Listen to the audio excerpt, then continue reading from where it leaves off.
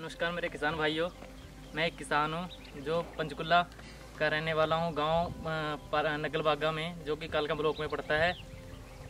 यहाँ मेरे गाँव का मौसम बहुत ही सुहाना है। जैसा कि आप देख रहे हो, यहाँ पर पहाड़ी बहुत नज़दीक हैं।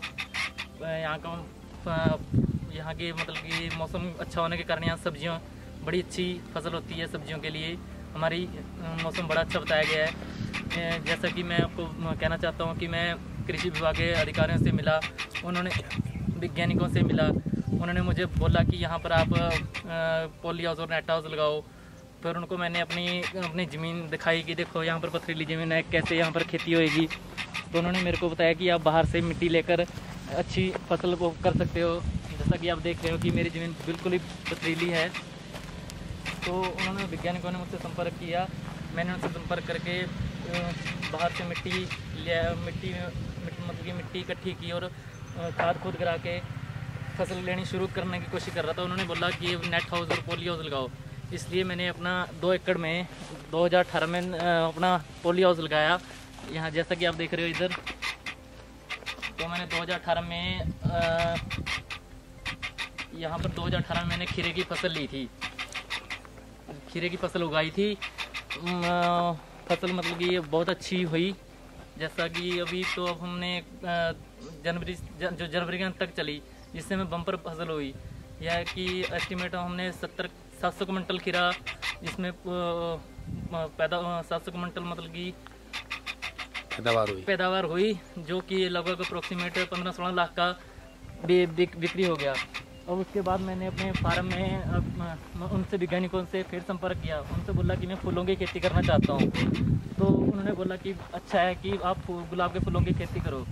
जैसा कि मैं आपको दिखाने जा रहा हूँ कि मैंने फार्म में अभी गुलाब लगा रखे हैं। हैं।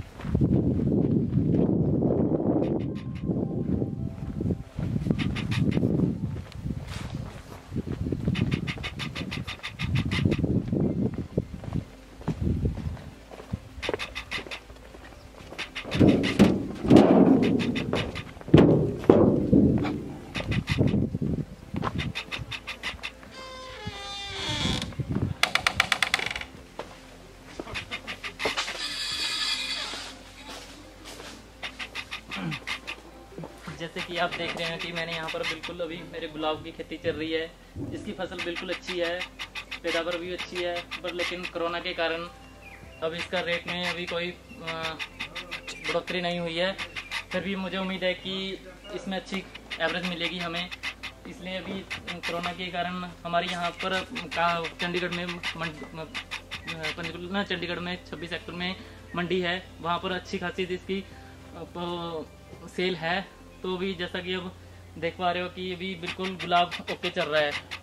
तो मेरा सभी किसान भाइयों से आग्रह है आ, मैंने वैज्ञानिकों की सहायता से मतलब कि जैसे कि बेड बनाना ड्रिप करना खाद को उनकी सलाह से सारा कुछ खुद अपने लेबर की सहायता से सब कुछ काम किया है। जैसे कि आप देख पा रहे हो कि यहाँ पर बिल्कुल ड्रिपिंग सिस्टम सभी ऑल ओवर बिल्कुल ओके है जो भी एक प्रोटेक्टेबल है बिल्कुल। यहाँ पर जो इसका आने के स्थान को बिल्कुल ध्यान में रखते हो तो इसमें आप कीड़े, बीमारियों से बिल्कुल बचा सकते हो। जैसा कि आप देख रहे हो कि मैंने अभी दो एकड़ में बिल्कुल अभी वो लगा रखा है गुलाब, जो कि मेरे को अच्छी आमदनी, उम्मीद है कि अच्छी भविष्य में अच्छी आमदनी देगा।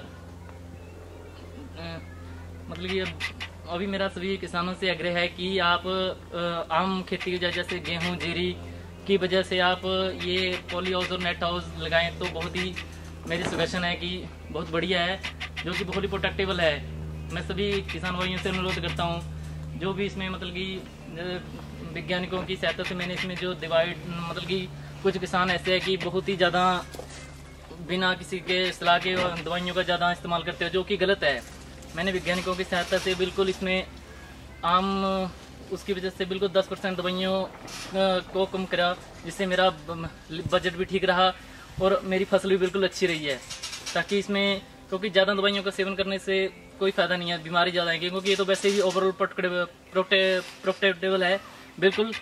तो मेरा सभी किसान भाइयों से आग्रह है कि आम खेती के बजाय आप ये पोली हाउस और नेट हाउस लगाएँ। धन्यवाद जी। नमस्कार। लो जी।